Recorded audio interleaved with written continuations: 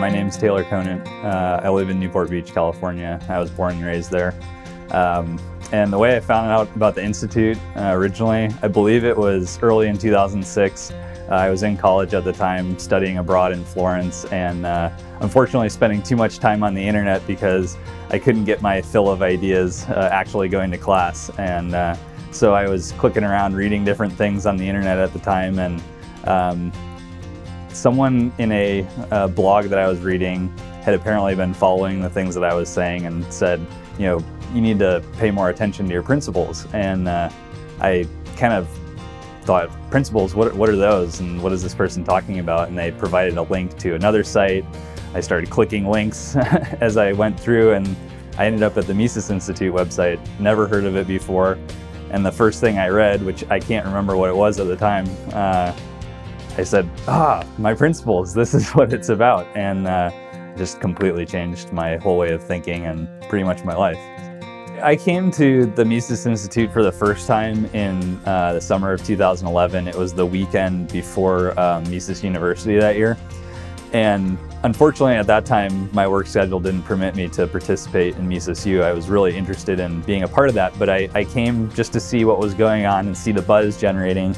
And uh, I, I got the impression even then with, you know, the 100 plus students that were, were here and arriving and, you know, all the activity, that the number one goal of everybody that works here at the Institute was to cater to them, to make them comfortable, to meet every need that they had. And um, I saw I saw what happens when people have that attitude because the, the students were just alive. They were they were uh, so vibrant and excited. There was energy, you know, everywhere you went, whether it was in the classrooms or outside of them.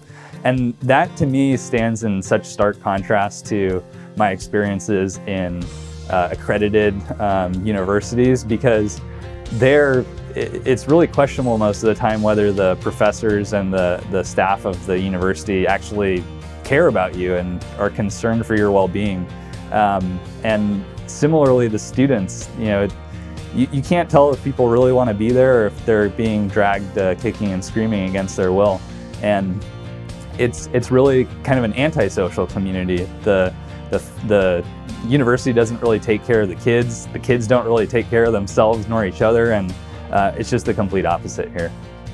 The reason that uh, my family supports the Mises Institute is because uh, we really believe that education um, is a, a, critical institution in society in general. That's always been the um, focus of, of our um, charitable uh, efforts. Our, our family foundation is the, the Conant Family Educational Foundation. And um, the Mises Institute is, of course, a um, educational um, group at, at its heart. They explicitly reject uh, taking policy positions and trying to get into political debates and all that stuff. It's about providing people with information and letting them make up their own mind from there.